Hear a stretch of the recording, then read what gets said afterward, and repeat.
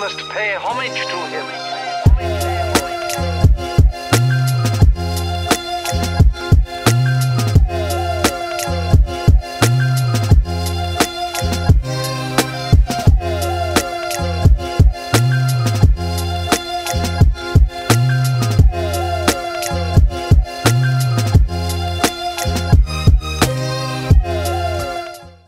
What's poppin' everyone? Odinma here. Now 2019 has been a very good year for Samsung. We saw releases of various phones for various markets from the top of the line S series to the bottom tier A series. Samsung has just been moving very very well into the market. And now just 2 days ago Samsung released their latest smartphone. Another addition to the S series, the Samsung Galaxy Note 10. Now, if you didn't know about the Samsung Galaxy S10, which was released earlier this year, that was a very, very good phone, probably hyped as one of the best phones of 2019. But now this Note 10 has come out, and I'm sure some people are wondering what makes the Note different from the S. Now, the Note series has always been known to be power user's phone. So does that still hold up here? Let's find out. Now, the three most important things that I actually looked into when you're comparing these three phones are specs, design, and the cameras. So I'll dive into them one by one. Now, let's start off with the design. Now, most Samsung Galaxy S phones and the Note series phones sometimes are mm, very very similar but then they have some unique differences in them. Now the similarities between the Note 10 and the S10 oh yes and please note any difference or similarity that I place out in this video applies to both the S10 and S10 Plus or Note 10 and Note 10 Plus unless I say otherwise. With that out of the way, let's continue. Now, both phones have dynamic AMOLED displays, they have glass on the front and back, and they have their hole punch display. Now, we'll be talking about the difference between their hole punches in a little bit. Both of them have the ultrasonic fingerprint reader, which is that very new type of fingerprint reader that uses sound waves to read your fingerprint instead of light. I have a video about that in the show notes up there.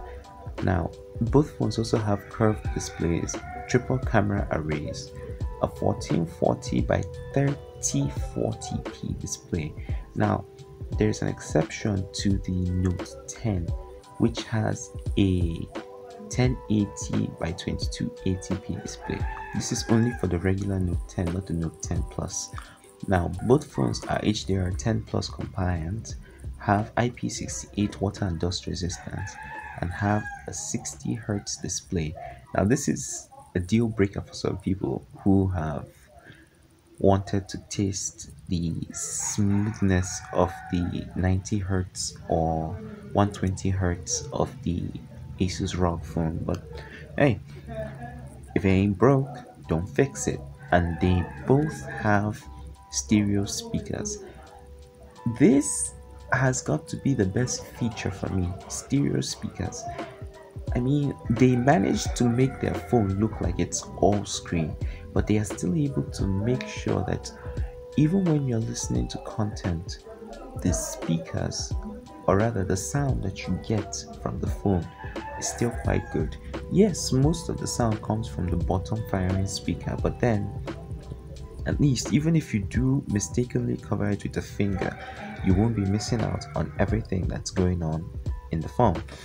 Now, moving to the differences, the Samsung Galaxy S10 Plus has a 6.4 inch curved display with a 522 ppi and an 89% screen to body ratio, while the Note 10 Plus has a 6.8 inch curved display with a 498 ppi and a 91% screen to body ratio. Now, the curve on the Note 10 is also less pronounced like that of the S10. So it's almost flat, but it's not flat at the same time. It's very good to look at. Many people have said that they don't like the curved display because it adds no real value to the phone. It's just a design thing. I have not used these phones, so I can't really say for sure. But then I know that I like the look. But then, from what I've heard about um, accidental screen touches from the edge display and other problems like screen bleed, this may be a deal breaker for some people, but I doubt to be a deal breaker to everyone. Now, the Samsung Galaxy S10 and the Note 10 regular have different displays. The S10 has a 6.1 inch curved display with a screen to body ratio of 88.3 and the Note 10 has a 6.3 inch display which is also curved with a 90% screen to body ratio. All of them have this curved screen so you needn't worry and because Samsung is known to release one of the best screens in the smartphone industry, you needn't worry about um, viewing your content outdoors or in direct sunlight. Now, the S10 Plus and the Note 10 Plus both are somewhat heavy phones, but S10 Plus weighs about 175 grams as opposed to the 196 grams on the Note 10 Plus. The only exception to this is the S10 with the ceramic back. Now that one weighs about 198 grams, so do bear that in mind when you're going into the market. Now, the power and volume button arrangement on the Note 10 and the S10 changed this year.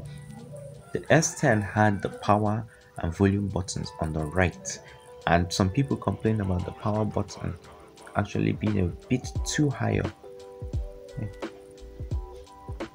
but now in the note 10 the volume button and the power button are actually both on the left hand side of the phone there is no bixby button and that's because the power button is actually the bixby button this is remappable if you want you can launch other apps or you can just set it back to actually powering off your phone because if you leave the power button to be used as a Bixby button, you will not be able to turn off your phone unless you use some other alternative method to actually turn it off. Now, on the back of the phones, we have this new gradient color called Aura Glow. Just very very trippy color. I'm not very fond of the color. It looks like a horror show from the back. Well at least that's for me the different colors the way it changes in the light it's annoying to me sometimes but it's actually very very good to look at while the s10 just has a somewhat clean color now the ultrasonic fingerprint reader also which is beneath the screen is faster on the note 10 than the S10. Uh, well, at least this was expected. And then now, the camera arrangement on the Note series and S series has always been what people use to differentiate which is which. But now this year it's got a bit flipped around. Now, previous Notes would have their cameras arranged horizontally, while the S phones would be vertically arranged. This year, the Note series phone is being arranged vertically, while the S10 had the horizontal layout. No big deal as long as my cameras actually do the work that they're supposed to do. And then, of course, the most annoying feature for some people the headphone jack, which is now missing. So, that's all about the display. Let me know what you think in the comment section about the displays. Are they good? Are you satisfied with the compromises or rather the differences between these two phones? And which one would you get if you were to consider this display?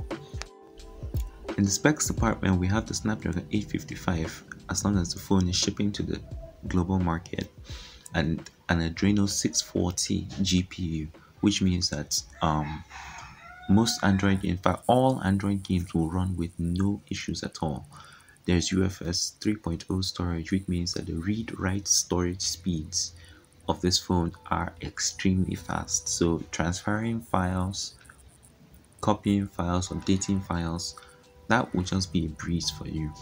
Both phones are maxed out at 12 gigs of ram.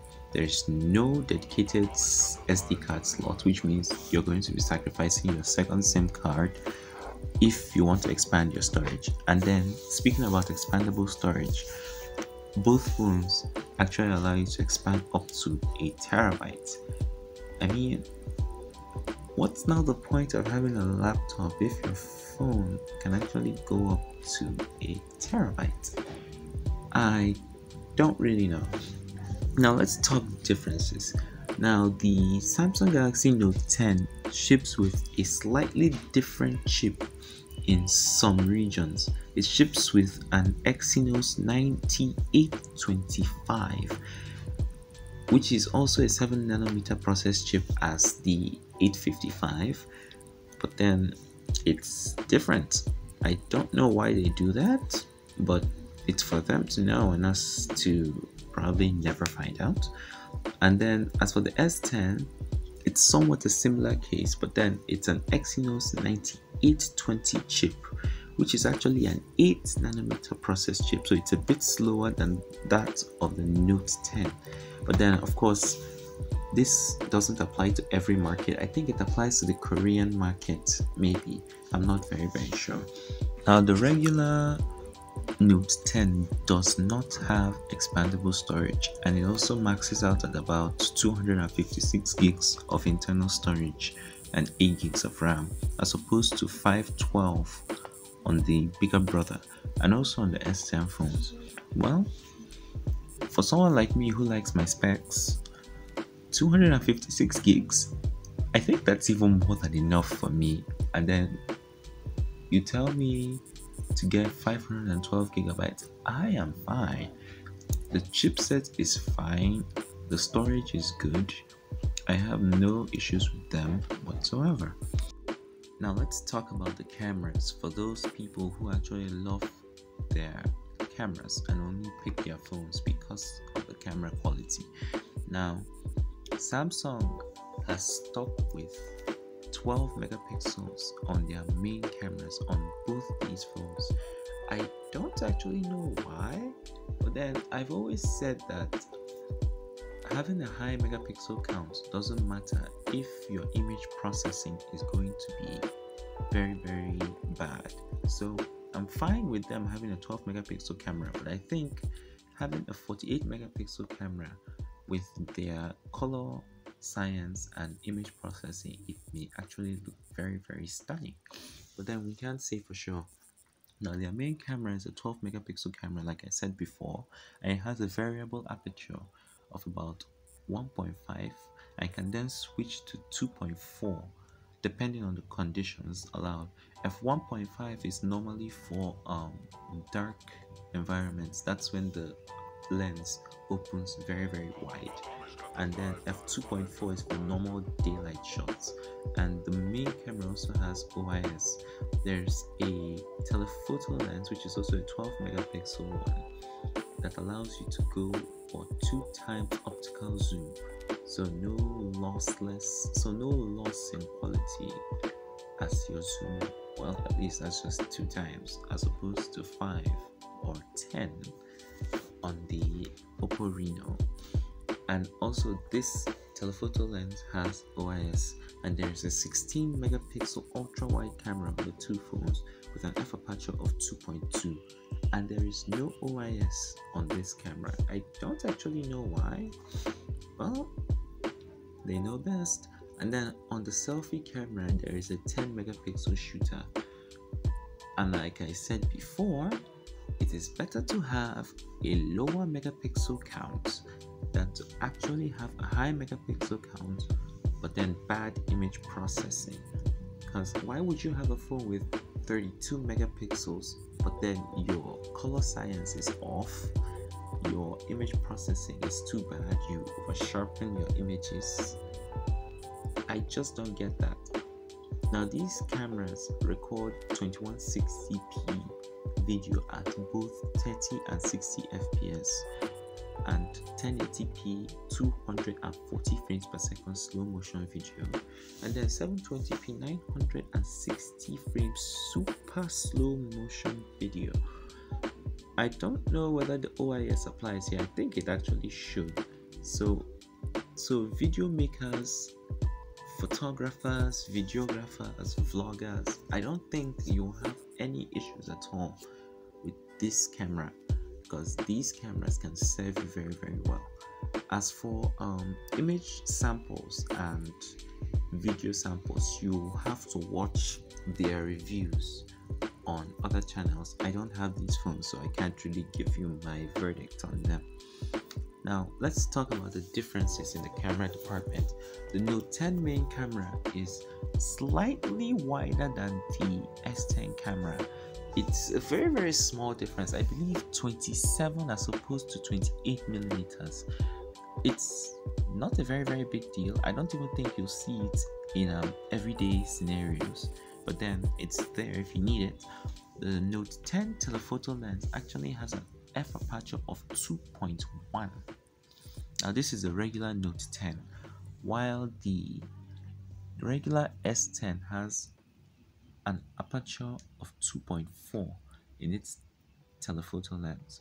The regular S10 also does not have video stabilization when it's recording 2160p 60 frames per second video but other settings below this actually have stabilization and this is only applicant to the S10 the S10 Plus I believe does have the stabilization